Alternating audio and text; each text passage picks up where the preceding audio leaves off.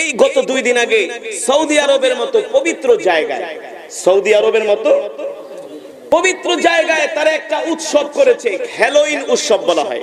শয়তানের মতো আকৃতি সেজে, শয়তানের মতো আকৃতি করে দাঁতগুলো বড় বড় করে ঠোঁটগুলো বড় বড় করে মোজগুলো বড় বড় করে ভ্রু গুলো বড় বড় করে। রসুলের সুন্নতি পোশাক, রসুলের সুন্নতি পোশাক এই জুব্বা পরে, আবায়া পরে, রুমাল পরে তারা চেহারাকে বিকৃত করে, তারা হ্যালোইন উৎসব করেছে। তাদের এই নির্লজ্জ কর্মকাণ্ড দেখে পৃথিবীর কোটি কোটি মুসলমানের হৃদয়ে আঘাত লেগেছে খ্রিস্টান ইহুদিরা পর্যন্ত অবাক হয়ে গেছে যে আল্লাহর নবীর পবিত্র ভূমিতে সৌদির মুসলমানেরা এই সমস্ত শয়তানি কর্মকাণ্ড কীভাবে করে এগুলো হচ্ছে কেয়ামতের আলামত। কেয়ামতের পৃথিবী আর বেশি দিন টিকে থাকবে না। ইমাম মাহদি আলাইহিস সালাম আসবে। যেভাবে করে আল্লাহর জমিনে পাপাচার হচ্ছে জঘন্য ভাবে নির্লজ্জ ভাবে যেভাবে করে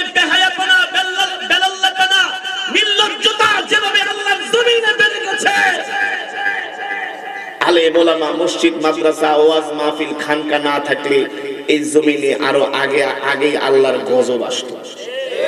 ঠিক কিনা বলেন? শুধু মাদ্রাসা, মসজিদের কারণে, আলেমদের কারণে আল্লাহ গজব বন্ধ রেখেছে। আপনাদের মতো যারা আল্লাহর পেয়ারা বান্দা, যারা রাত গভীরে আরামের ঘুম হারাম করে, দুনিয়ার সব কিছু ত্যাগ করে, আপনারা কোরআনের মজমায় বসে আছেন, দুনিয়ার কোন লোভের আশা নয় দুনিয়ার কোন সম্পদের আশা নয় দুনিয়ার কোন মানুষকে দেখানোর জন্য নয়। মিশর এই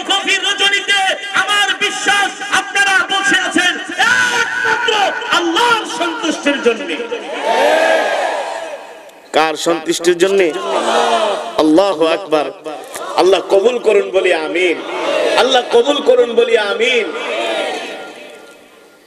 সম্মানিত হাজিরিন, দুঃখের বিষয়, চায়ের দোকানে বাংলা সিনেমা চলে, সেখানে মানুষের অভাব নাই। একটা সিনেমা তিন ঘণ্টা লাগায় দেখে। কয় ঘণ্টা? আর একটা বক্তা যদি এক ঘণ্টা, দেড় ঘণ্টার উপরে ওয়াজ করে, মুসল্লিরা ওঠা উঠি শুরু করে। মসজিদের মেম্বারে বসে যদি খতিব সাহেব পাঁচ মিনিট বয়ান বেশি করে, মুসল্লিরা খতিব সাহেবের দিকে চোখ বড় বড় করে তাকায়। বানায় বলছি বানায় বলছি, মনাজাত একটু লম্বা দিলে হুজুর মনে আজকে এমন মনাজাত দিছে, একেবারে আল্লাহরে নামায় ফালাইব। নাউজুবিল্লাহ বলে। নাউজুবিল্লাহ বলে। নামাজের মধ্যে কেরাত একটু বেশি পড়লে কে, হুজুর, আপনি জানেন না আমার যে হাড়ের সমস্যা আছে, পায়ের সমস্যা। একটু কম কম কেরাত পড়তে পারেন না, ছোট করে পড়তে পারেন না। আমরা রমজান মাসে যখন তারাবি পড়াই, অনেক মুসল্লি আইসা এতিমের মতো দাঁড়ায় থাকে, দরজার সামনে। কিসের মতো? কথা কয় না। আর আমি আপনাদের থেকে তো রংপুরের মানুষও চালাক। আপনারা তো একেবারে বলদের মতো বসে আছেন। কথার আওয়াজ দিয়েন। আমি করব ওয়াজ, আপনারা দিবেন আওয়াজ। নাকি? হ্যাঁ। এতিমের মতো এসে রুমের সামনে দাঁড়ায় থাকে। কি হয়েছে? হুজুর, ক্যারেক্টার একটু তাড়াতাড়ি পড়া যায় না? এই কারণে আমাদের দেশের তারাবি নামাজগুলোতে ম্যাক্সিমাম ইল্লা মাশাল্লাহ কিছু মসজিদ ছাড়া, ইয়া আমালুন, তা আমালুন ছাড়া আর কিছুই বোঝা যায় না। বিশ মিনিটে পুরো খতম তারাবি এক পারা শেষ। কয় মাশাল্লাহ আমাকে হুজুর মিয়া এমন হুজুর রাখছি বিশ মিনিটে সব শেষ করে ফেলাইছে।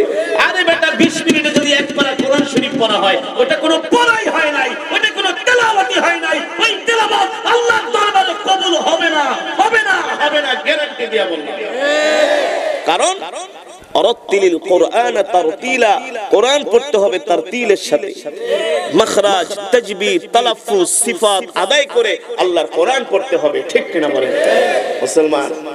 আজকে আমাদের ধৈর্য নাই। ইবাদতে কি নাই? ইবাদত করতে আসতে ধৈর্য নাই। একজন আরেকজন একটু পরে খোসা দিয়ে হুজুর, তাড়াতাড়ি শেষ করেন না তাড়াতাড়ি মোনাজাত এমন কেউ আছেন নাকি? এমন কেউ আছেন? আচ্ছা বয়ান চলবে কতক্ষণ? আওয়াজ নাই। বয়ান চলবে কতক্ষণ? পিসের মানুষের আওয়াজ নাই। বয়ান চলবে ততক্ষণ আপনারা থাকবেন যতক্ষণ। কিন্তু আমরা আপনাদের ধৈর্যচ্যুত করব না ইনশা। এমন সময় আমরা মোনাজাত দিব যাতে করে আমরা ফজরের নামাজ জামাতের সাথে পড়তে পারি ইনশা। সম্মানিত হাজিরিন এতগুলো উদাহরণ টানার কারণ হলো, এতগুলো উপসংহার দেওয়ার কারণ হলো আল্লাহ রাব্বুল আলামিন সে কথাই কোরআনের মধ্যে বলছেন। 30 পারার মধ্যে সূরাতুল ইনফিতারের মধ্যে আল্লাহ বলছেন, ইয়া আইয়ুহাল ইনসান।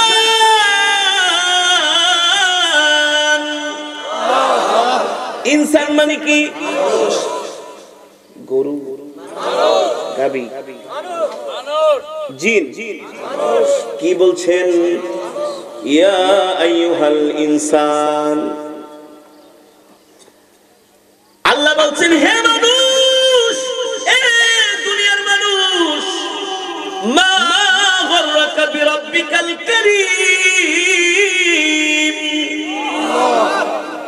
আল্লাহ বলে দুনিয়ার মানুষ, পৃথিবীর এমন কোন শক্তি আমার আল্লাহর কাছ থেকে তোদেরকে দূরে সরায় রাখে।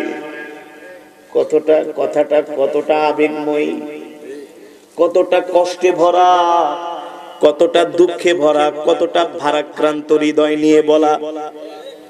আপনি আপনার সন্তানকে বলেন, বাবারে, পড়াশোনা করাইলাম, ডাক্তার বানাইলাম, ইঞ্জিনিয়ার বানাইলাম, বিয়া করাই দিলাম, এখন চাকরি পায়া তুই আর আমার কাছে আসস না? বেতন পায়া বেতনের টাকাটা তোর বউর অ্যাকাউন্টে দিয়া দেস। আর ভালো ভালো খাবার কিনে নিয়ে শ্বশুর বাড়ি চলে যাস।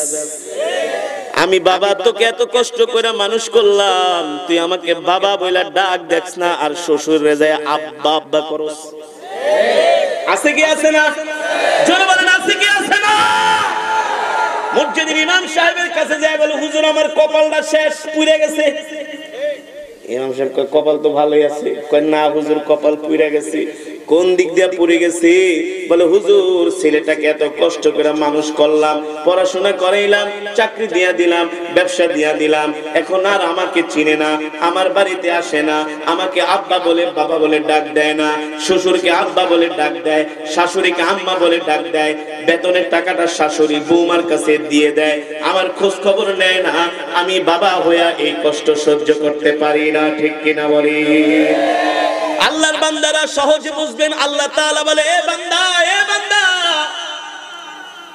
ইয়া আইয়ুহাল ইনসানু মা গররাকা বিরাব্বিকাল কারীম আল্লাযী খালাকাকা ফাসাওয়াকা ফাআদালাক في أي صورة ما شاء ركبك আল্লাহ আকবার। আল্লাহ বলে, বান্দারে, আমি তোকে ডাকি, তুই আমার ডাকে সারা দেস না। এখন মাহফিল হচ্ছে, কত মানুষ এখনও রাস্তা দিয়ে ঘুরতেছে, ঠিক কিনা বলেন?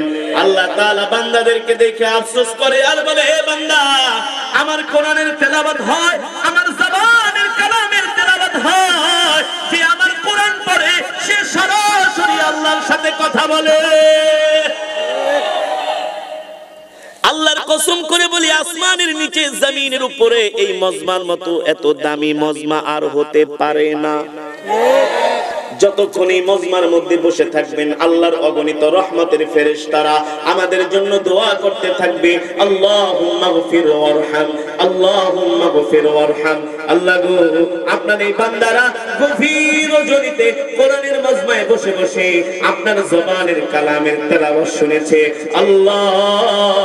কত বান্দারা রাত্রবেলা এখনও খায় নাই অনেক দূর থেকে আসছে, হেঁটে হেঁটে, আবার ওয়াজের পরে অনেক দূরে দূরে হেঁটে যাবে। আমরা যখন ওয়াজ মাহফিল করা ঢাকার দিকে যাই, দেখি এক ঘণ্টা, আধা ঘণ্টা গাড়ি চালানোর পরেও অনেক যুবকগুলো হেঁটে হেঁটে যাচ্ছে। ডাক দে ও দোস্ত, এদিকে আসো। কোথায় গেছিলা? বলো, হুজুর, এই তো আপনার ওয়াজ শুনে আসলাম। আরে, ওয়াজ তো শেষ হয়েছে আরও আধা ঘণ্টা, এক ঘণ্টা আগে। এখনও কেন তোমরা এই জায়গায়? বলো, হুজুর, রাত্রবেলা গাড়ি পাই নাই, রাত্রবেলা গাড়ি পাই নাই। এই কারণে সেই মাহফিল থেকে হেঁটে হেঁটে আসছি। কত কিলোমিটার হাসছো বলো, হুজুর, পাঁচ, ছয়, দশ কিলোমিটার। এই কথা শোনার পরে যদি আমি মাটির মানুষ, যদি আমার মায়া লাগতে পারে, আমার আল্লাহর মায়া লাগে কি লাগে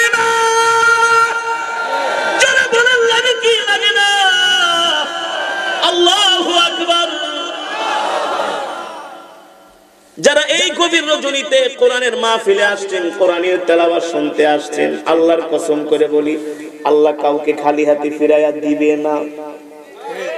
এক খতম করে কোরআন শরীফের সওয়াব তো পেয়েই গেছেন। কীভাবে পাইছেন বলতে পারেননি? আমি সূরাতুল ইখলাস তিনবার তেলাওয়াত করেছি, কয়বার? জোরে বলেন, কয়বার? এখানে যদি হাজার মানুষ থাকেন, তাহলে হাজার খতমে কোরআনের সওয়াব হয়েছে, আল্লাহু আকবার। তাহলে আপনারা বলেন যে মজমার মধ্যে হাজার হাজার খতমে কোরআনের সওয়াব হয় এই মজমায় দোয়া করলে আল্লাহ দোয়া কি ফিরাই দিবে? কোনদিনই আল্লাহ দিতে পারে না, আল্লাহ রহমান। আল্লাহ রহিম, ঠিক কিনা বলে? সেই রব্বে কারীম ডাক দিয়া বলে, বান্দা, আল্লাযী খলাকাকা ফাসাওয়াকা ফাআদালাক।